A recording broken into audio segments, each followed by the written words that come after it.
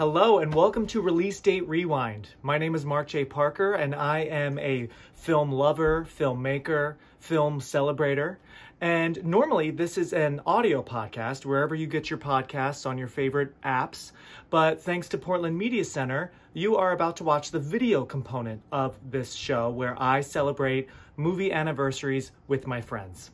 Each month, I usually talk about two different movies that I love with different friends, and we talk about the making of the movies, trivia, any fun memories associated with them. So I hope you enjoy because now it's time to rewind.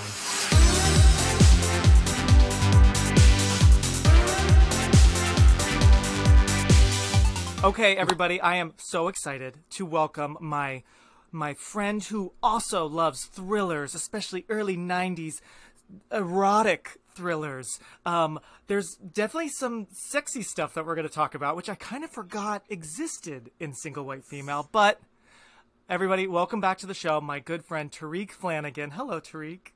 Hello there. Thank you for having me back. I, like you said, give me a 90s thriller and Oh. I we can talk all night. So thank you for having me. Thank you for having me back. Oh, I am so happy. Thank you for giving me your time away from your beautiful family to talk about these two crazy women. Well, I mean, one crazy woman So and one, you One know, really crazy. d- one really crazy. You know, and I forgot. We'll get into it, but I forgot.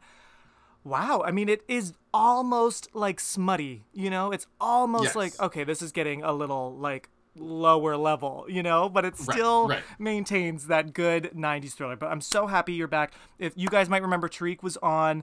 Oh God, I can't believe that was already so long ago already. Back in January, we talked January? about that was yeah, that was like mid January we last spoke on here. You came on the show to talk about uh, the hand that rocks the cradle, another great.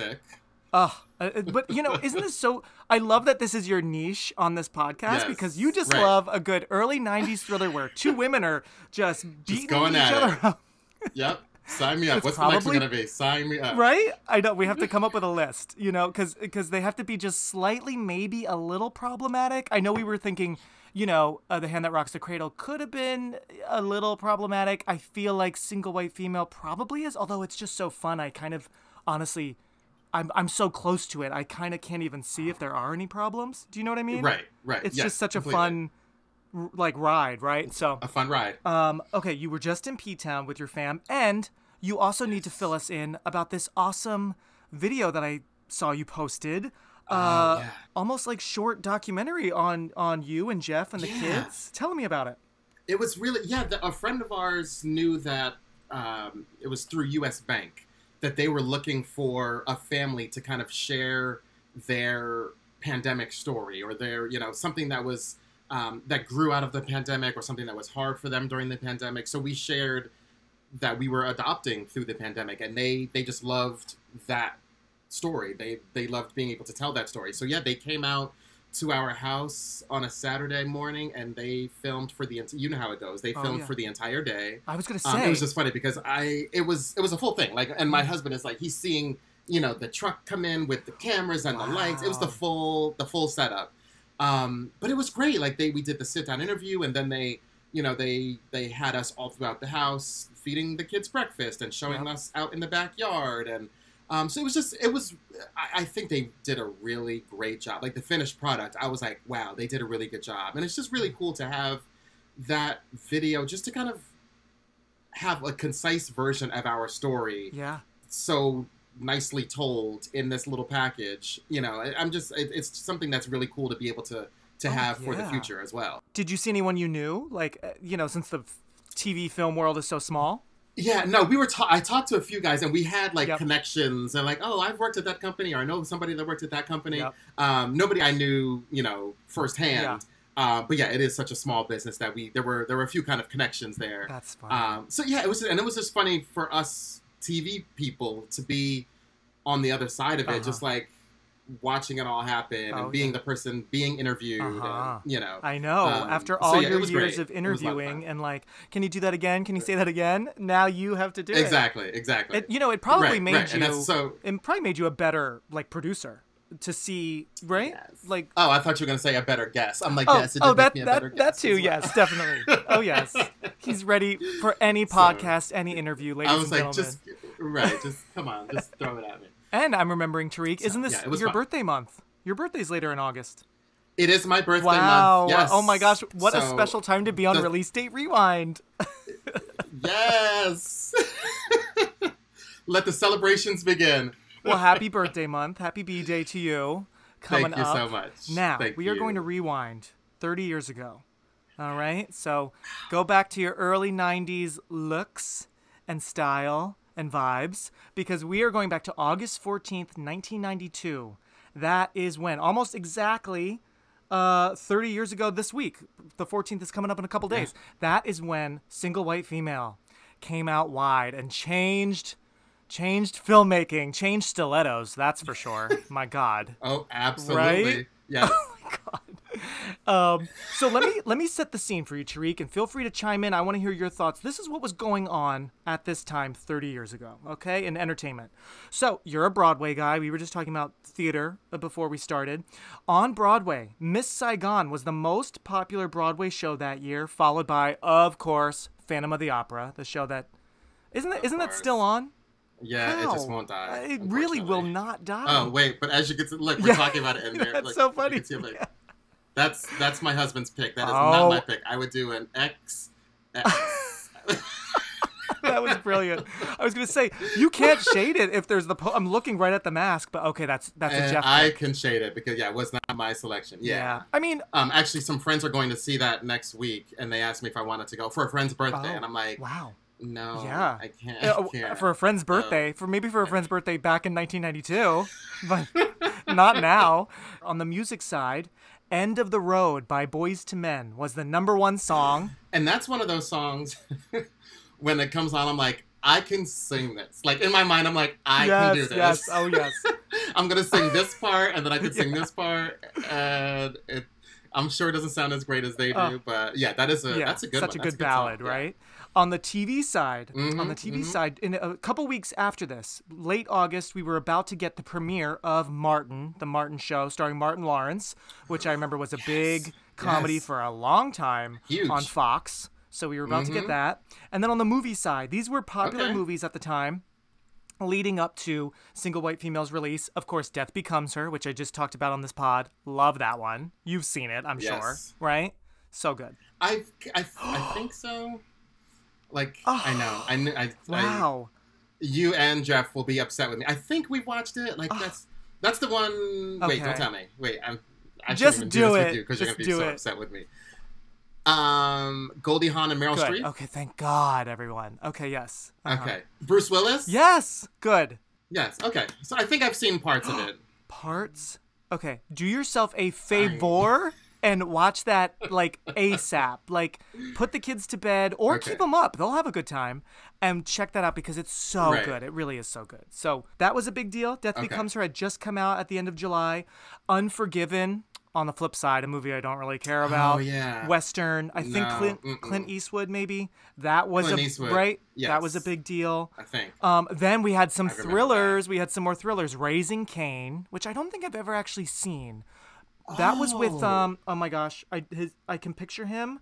Third Rock from the Sun. Oh my gosh. Um, Uh, John. John Lithgow. Yes. Uh huh. Uh huh. Sounds familiar, but I. I don't think I ever saw it, but I remembered the poster well. Okay. Like it's him looking. Okay. He's like a bad guy. Okay. We had Unlawful Entry was pretty popular. I sort of about to like leave its like run in the theaters, but I remember you mentioned that Okay. one last episode, Mhm. right? So this was like the Yeah, 'cause it's a heyday of those good, simple, straightforward, you know, thrillers. So that one, that was with Right. Kurt Russell, right? And Madeleine Stowe, I think. Ray Liotta Yeah. and Madeleine Yeah. Stowe. Yes. Mhm.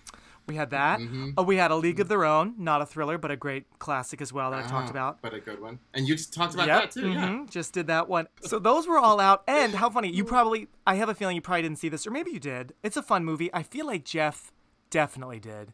This movie came out the same day as another movie I'm going to talk about this month on the podcast. Stay tuned. Did you ever see Stay Tuned with John Ritter? Really wacky No, comedy. I don't know this one. No, super okay. super kooky. Mm-mm, I don't know so this one. that came out the same day as this. Obviously, single white female was way more popular and more successful. But there you go. But so Tarik, now I'm going to throw it over to you in your own words for anyone who is not Yes. sure what this movie's about. Tell us what what is the story? What's the plot of Single White Female? What happens? Oh, okay. So, Single White Female is about a young woman, a young Mhm. woman, Bridget, Bridget Fonda, who uh, needs a roommate. Basically, there's some things that went down with her. Her boyfriend became her ex-boyfriend, so she needs a roommate. So she interviews a couple of of young ladies, and then Jennifer Jason Lee shows up and just lets herself in Oh, the yeah. house and charms her way into that spare bedroom. I mean, all she had to do was just fix a leaky faucet and all she did get that monkey wrench out and get under that. yeah, just open the cabinet and do her twisting mechanism and wow, she got the she got the room. Yep. But little did Bridget, poor Bridget Fonda, did not know that she was letting a crazy person Oh, into her apartment. God.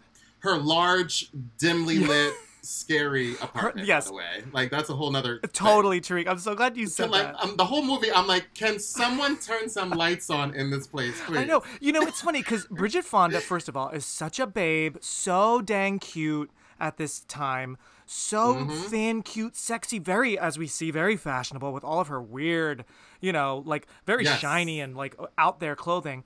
But I'm like, girl, get a headboard, get some sort of actual like bed stand because it's just two mattresses on top of each other. You are not in college anymore. It's And you're so, bad. right. Turn so on a few lights, a night light, a lamp. I mean, every Every scene is very. it's almost like a noir. yes, You oh, know? absolutely. Which I, I mean, it works. but then it's also frustrating. I know we're jumping ahead out slightly here when I say this, but it's funny because then as things really ramp up in the movie, which oh my god, it's just absolutely iconic. I actually feel like the movie gets brighter when things are getting darker Yes. uh, emotionally. Right, You know? right. So I, don't- I don't know if that was intentional, yeah. but yeah, there's a lot of moody lighting, a lot of blues and reds, which I mean, it looks great. A lot You of blues, but it's also like Yeah, it's okay, also like, girl, you, you have a. It seems like I mean, you're like a consultant. You're a graphic designer, fashion person. You're carrying Right, around like a little Like, computer briefcase that I've never seen ever. What an interesting gadget, right? right, It literally, right. it has like a little briefcase handle, and it's almost like an uh, the first generation like iPad or something. It's sort of like a like an iPad. Yeah, yeah, yeah. Like yes, first laptop. yes. Yeah, so exactly. I mean, you you Yeah. definitely are connected. Let's turn on some lights. But yes, and we just we learned very quickly that Hedy is a little crazy. Hedy's a little crazy in the Hedy. there you Um, go. Yeah. Exactly, Hedra. exactly. So then we we watched that all play out. Hedra. What a Hedra, spooky name. Because like- then we realize her name's Ellen. I'm like, oh, Hedra. Where'd you Where'd you get Hedra? Like, okay. you know. In this city, on this street, in this apartment, Hi, are you Allison Jones? I'm Hedra Carlson. Hedra, that's unusual. When can you move in? an ad for a roommate brought a stranger into Allison's life. You know, this had actually been a. I hadn't rewatched this movie in a while. I remember I definitely saw it as like a kid, teen on TV and loved it. Oh my god, fascinating! And Right. uh, I'll never forget when Hedy slash Ellen, I think it's Ellen, right? Yeah, when she is choking Allie in the elevator, and it really looks like Bridget Fonda is like losing consciousness. Is Right? Yes. I remember as a kid yes. that scene and um God, the really disturbing uh the client the creepy client with glasses who uh molests uh Allie, Bridget Fonda. Oh my god, and then he's making her Mm-hmm. Turn around. Well, she says I'll turn around because we know she's got a plan, and he's starting to like undo his pants. Right. Seeing that as like a teen, I was very disturbed. That was very realistic. you're like, this is disturbing. So I'll never forget that. But so Yep, I had yep. seen this movie for the first time, you know, kid teen, and then I know I rewatched it early in college with some friends, like in the dorm room, and we were screaming and like Okay. living life. Okay. But when's the last time? I think that was the last time I s- saw the whole movie in full. When's the last time you saw this? Well, well, as I was rewatching, looking to rewatch this movie for for this chat here, I was trying to see where I could, you know, what what Mhm. streaming service I could watch it on, and I discovered that we had actually already purchased. Of course this you movie. did. Oh my God. So this tells you a lot about what's happening in this house. Like I don't know when it was, but I mean this had to have been within the last four to five years, Okay. I'm guessing. We purchased it, so instead of like renting it and you know having a 24 hour watch, we Yeah. purchased it, so it lives in our streaming library great. now. So I was like, oh, Oh perfect, you know. So yeah, so we this that that kind of paints the picture of of our thoughts on this movie and the genre and Um, when did you first see this movie? Do you remember?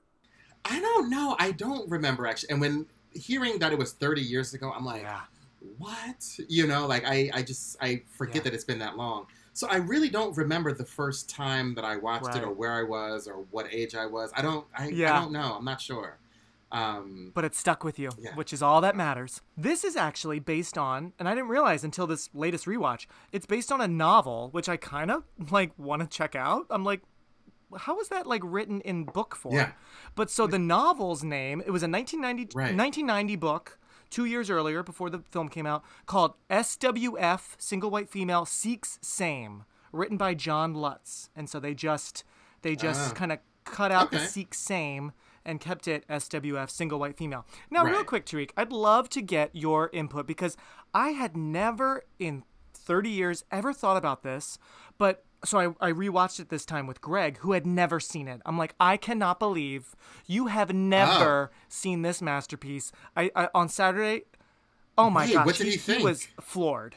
He was a little bored every now and then, and I do I do have to say it does slow down here and there. Also, we were pausing a lot, and also we were doing a deep dive into Bridget Fonda's life, which is really interesting. Uh. have you like Googled her?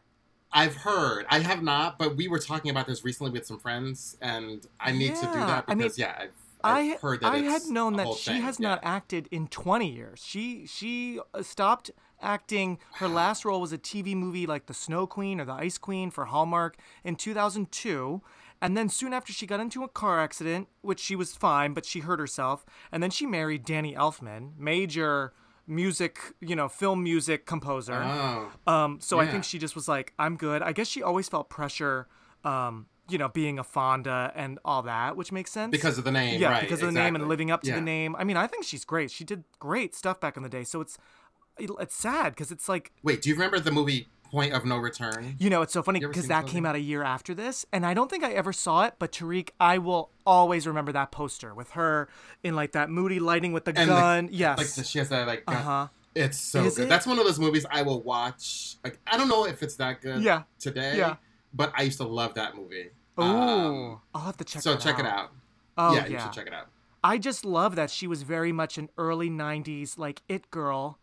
But it's sad I looked her up and so get this. So the last time she was seen in public was with Danny Elfman in 2009 for the Inglourious Basterds movie premiere. I guess maybe Danny Oh. Elfman did the music or or she Yeah. I know she she worked on um oh my gosh, Jackie Brown with Quentin Tarantino. So maybe she was just yes. there to see Inglourious Basterds to support him. Um, and she's so hot in that movie, right? And so last time she was spotted was 2009 until apparently earlier this year on her birthday. And, And, the I heard she was paparazzi like photos, unrecognizable. uh, yeah. Uh, uh, Greg and I were like, that's not her. This is like some dumb site saying it's her. But all these pictures Google. show her, and wow, it. I mean, That's I don't want to. I don't want to say, you know, oh, I feel bad because maybe she just, you know, uh, is happy with how she is, but Right. she is Oh, wow, unrecognizable. Yeah, she. and we were so so occasionally see. we Yeah, would I pause the movie because we just were also like doing deep dives on her and like trying to really figure out is that really her or are, are the are these sites confused Right. you know these paparazzi confused so we would occasionally pause it and so greg was like it does feel a little long i'm like well we are also looking at gossip sites while watching the movie i mean it's not really you know Right, it- it- right. we were supposed to watch this straight through like as a normal person would Well, hold on. I, I, we have to talk about two things before we talk about moments that could be. We Yeah. talked about Bridget a little bit just now. Can we just talk about Jennifer Jason Lee for a moment? oh so tarik say it so say it it's well, it's so as I was watching it, I laughed because Jeff, my husband and I, Jeff, have always lovingly considered Jennifer Jason Lee to be a little cuckoo oh in a loving way. I- i am right there And with I'm- you mm-hmm And I'm like, did it start with this movie and this role? Right. Like, I don't. It was like, wait a minute. Like, where does the kookiness come from? Maybe it's this movie. Like, and I was trying to remember what other movies she's done. Yeah. that could have, you know, This been the moment where laugh. she seemed crazy to us. So She yeah, is I just so I like kooky. makes she is so cool. she always picks these agree. roles where you're like, Yeah. oh, okay, crazy. She's you know, she's always a little deranged, or if it's just like a drama. Like, did you ever see back in oh gosh, maybe the late 2000s, maybe like around 2007? She was in, which I actually kind of liked, Margot at the Wedding. It was like a quirky drama with Nicole Kidman and Jack Black. yeah. I Does that ring a bell? Has, uh, Jeff obviously, Jeff has seen it. that movie. I don't. I've never seen it. Yeah. Totally, yeah. I you mean, said Nicole Kidman. He's definitely seen it. Oh yeah, I'm sure he was there opening weekend, right? But um, ex- it's fine. You know, it's it's decent. I liked it, but it's not something I've only seen it once. You know, but even in a movie like that Right. where it's just a quirky drama, dramedy, she still feels like, why do I feel like you're gonna pull a knife and like try to kill Exactly. Nicole and Jack Right. Black? You know, so it there's always And that's my thing. that's Like, did it start off. with this, or Right. was it like, is that just her? Well, you know? well, that's a good question. And hold hold your thought. The other thing you want to talk about because now I'll talk about them real quick. Okay, where they were. Okay. So on the cat on the cast side, the actor side. So we just were talking about Bridget Fonda. She was only 28 at this time. She, as we know, we already said she was a Fonda. So you know her dad, her she's she's related to um. Jane Fonda. I almost called her Janet, but I'm losing my mind. Jane Fonda. You're like, so- that doesn't. I'm like, that feels weird. She had just done Doc Hollywood, a movie called Iron Maze, Mm. Godfather Part 3, which I admit I still haven't seen that one. Had no idea she was in that. Right? And then also Frankenstein Unbound, which I know you like some scary stuff too. That movie looks crazy. I've never seen Oh, it. I've heard about one. it. It's like super monstery Frankenstein. So she was, I think, the female Okay. lead in that. So she had done that. Jennifer Jason Lee, she was 30, just a couple years older than Bridget. She had just done Backdraft, which was a big deal in 1990 Oh, we just or watched 91. that recently. Oh, okay. Yeah. Yeah. So she's one of the wives. So that's kind of surprising because, again, she is so kooky, cuckoo to us that, like, I don't think I would really ever cast her in just like a normal, like, wife role. Yeah. You know? Exactly. Exactly. But so she had some major success with that. That was a big deal. She was in Buried Alive, which I do remember. Apparently, it was a TV movie, but um, it was a very dark, weird, twisted, like kind of comedy horror movie.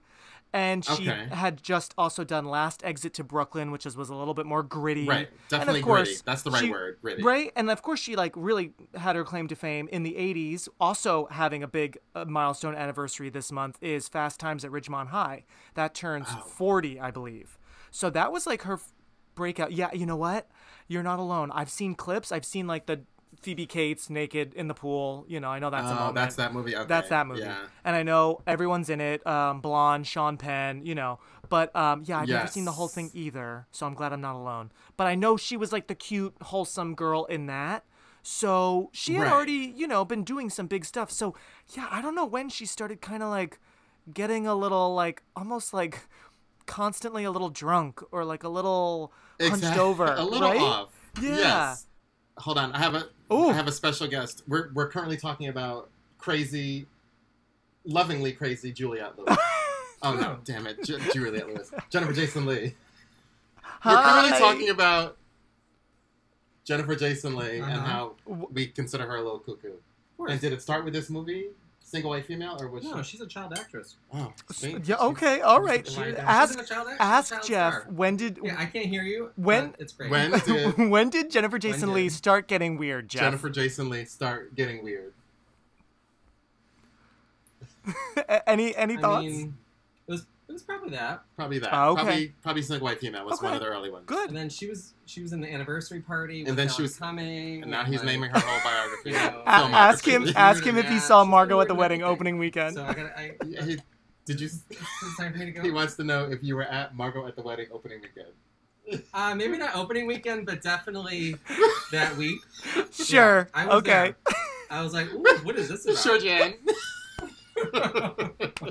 Someone And the beautiful on you. who shares Well, it's kind of fun having a girlfriend again. someone Do you guys know when you'll be back? Uh, no, it's kind of an anniversary tonight. Really? who cares Where the hell have you been? Making me feel like I'm 16 years old here. Real quick, we have to talk about Hottie McHotterson. I think he is very pretty. Steven Weber, what do you think? Would would you Steven would Weber? you tap that? I don't. okay. I don't hate Yeah. it. I- Okay. I, didn't think that. I. I didn't. I mean, I was like, and that never crossed my mind, honestly. The whole time I was watching him, I was like, what is he from? Wings? Like, Yes. what was the show that he was He in? went on to do Wings. Okay. Yep. Uh huh. To a lot of on to do TV. Yeah, and I mean, he- he's done He's attractive. Yeah. Yeah. I think so. I mean, Okay. he doesn't look Yeah. at, at this age. He was, he was 31, which makes sense. Oh, wow. Okay. You know, but like it's funny because back then everyone just looked older. You know, like he seemed Mhm. almost like 30. I don't know, eight or nine or so. But you know, he also bears all in this movie. He's- yes. Those. Yeah, well, there was definitely a moment where I was like, ooh, Oh, oh, oh okay. yeah. Oh, definitely. There was Um, a, a googling moment for sure. Yes, absolutely. Right. But so yeah, he had done lots of TV, like we said, and and theater and everything. But this definitely like kind of made him like leading man status, and he has a crazy end to his uh to his character's life. And it's interesting. Did you? I feel like did you and Jeff just watch? Maybe Jeff posted that new Netflix show Uncoupled with Neil Patrick Harris, or no? Yes. Any good? We did. No. Okay. We we watched. I should say we got through two episodes. Oh. Uh, and I don't. I don't necessarily know if we're gonna continue. Okay. That show is written and produced by the screenwriter of this movie, Don Roos. Isn't that Oh. random? Yeah. Uh huh. He's That is very he's random. done lots of TV. I think he also wrote for Younger, um, for a while, Which is which I you love, that. right? Yeah, I, I remember you like that one for sure. Yes. Um, but yeah, and he he's done some interesting stuff. Don Roos. This was his first um, film screenplay. Uh, he had mostly done TV Okay. up until this, but then he went on to do like other like kind of gritty stuff, like The Opposite of Sex with Christina Ricci. If you remember that one in the late Oh, '90s. yeah. He did some other kind of random stuff, but yeah, I was sort of surprised to see his name on a Neil Patrick Harris comedy because I mean, I guess it's like the gay thing, you know, because I'm pretty sure he's definitely Right, you right. know, uh, queer, you know. But so yeah, a little fun fact Yeah. there. And then last person to talk about is this was directed and produced by Barbet Schroeder, very interesting name. Right. He had just Yes. directed. Did you ever see with Glenn Close Reversal of Fortune? I didn't see that one. I don't think I have, but that wasn't that the Oscar nominated I movie? th- wasn't he? I think so. Didn't he get a nom for that? Maybe. Yeah. You might have. You might be right. Yeah. I think he. I remember that was a big one. That was a big deal for sure. It was her and maybe Jeremy Irons. I Yeah. forget. But so he did that. Yeah, that sounds right. I was gonna say that. right. maybe- And then he, I, Okay. I know his later movies better. He went on to direct. Did you ever see another pretty good thriller? I thought Before and After with Meryl and Liam Neeson in the mid '90s. Did you see that one? No. Okay. Where their uh-uh. son, I think, accidentally kills someone, and they're like trying to like cover it up. That was okay. And then Oh. Murder by Numbers with Sandra Bullock a few years after that. Yes. Ryan Gosling. I remember that Yep. one. So he's done some thriller stuff. Yeah. Okay. But so th- Okay. those are the major players, where they were, what they were up to at this time. Gotta help me, Grim. She's a lunatic, Ellie. She needs me. There are two scenes in this movie that are like iconic for this movie, but then also just like iconic moments. Period. In Yes. like, I guess Pop in culture. ninety thriller Yeah. world. One which you mentioned is the stiletto. Oh. Like when she Hedy Yep. Takes that shoe with that point on it and Oh, yeah. slams it into his eye. Like that Oh, is yeah. like that's one of those like every time I think about the movie, I think about that scene, and then the other scene I always think about is the moment she walk Hedy again walks down the stairs with the haircut. Like Oh. it's like Oh my God, like Tarik. that like I crazy. And I this is I, I just kept thinking like whenever you watch any of these movies, but for some reason especially with this one, I just kept thinking to myself, what would you do Oh if you were Bridget Fonda? Thanks so much for watching. Next week will be part two of this discussion. And in the meantime, please follow Release Date Rewind on Instagram.